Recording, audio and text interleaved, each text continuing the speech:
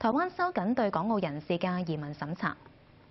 原本係大陸人嘅港澳居民，以及曾經或者正係任職大陸黨政軍人士，日後申請到台灣居留，必須經跨部門聯合審查。